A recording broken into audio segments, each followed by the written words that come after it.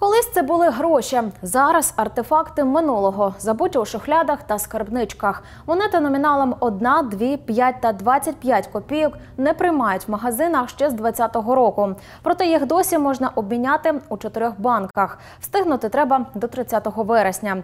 Потім ці копійки перетворяться на брухт. Чи є обмеження в обміні та чи матимуть цінність у нумізматів? Відповіді шукала наша Ксенія Симоненко.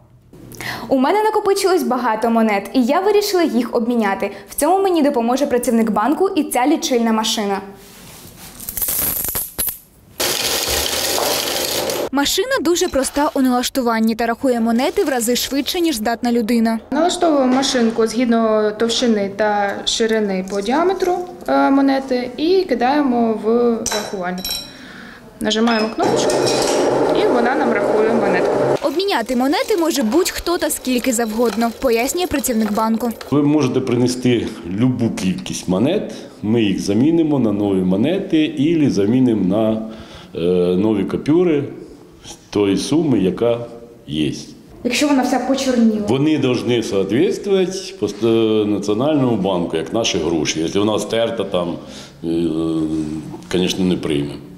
Тому що ми не можемо приділити навіть номінал цієї монети. Колись ці копійки зіграли вирішальну роль у важливій благодійній акції. Два роки тому молодіжна рада Дніпра відкрила збір на лікування дітей, від яких відмовились. Просто оголосити, що ми збираємо кошти, ну напевно, що це не цікаво було б для е, оточуючих, для людей, які б могли надати ці кошти.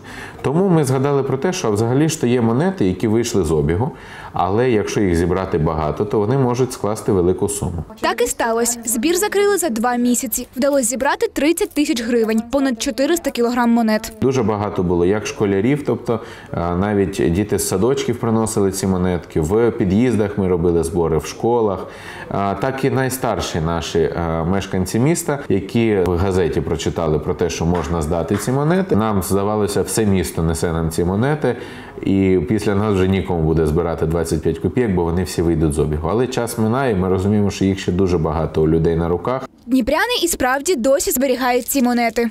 Так, трошки ще залишилось, там може баночка, ну, копілочки. Так. Ви їх не ходили обмінювати?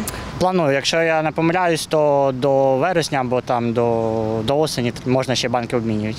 Втім, не всі прагнуть обміняти копійки. У вас залишились такі монети?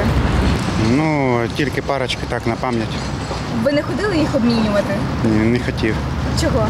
Ну, на пам'ять залишив. В майбутньому ця пам'ять може коштувати дуже дорого. Про це каже нумізмат Ілля. Він збирає монети майже два роки. Розповідає, вони мають властивість рости у ціні зі збігом часу. Я збираю монети різних номіналів.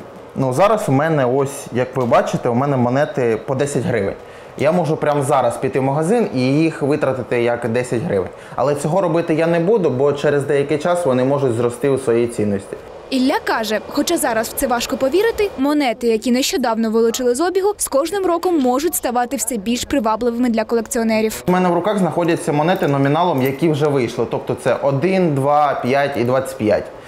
Зараз вони можуть, люди можуть піти в банк і обміняти їх до 30 вересня, а можуть їх сохранити і в майбутньому вони стануть ще більше, там 10 тисяч, 20 тисяч. Ну тобто вони будуть стояти, стояти дорожче.